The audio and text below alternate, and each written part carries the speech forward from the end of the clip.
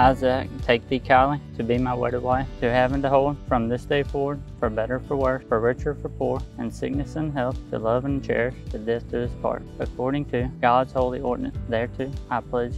thee my faith. I, Kylie, take thee, Zak, to be my wedded husband, to have and to hold from this day forward, for better, for worse, for richer, for poor, in sickness and in health, to love and to cherish, till death do us part, according to God's holy ordinance, and thereto pledge thee my faith.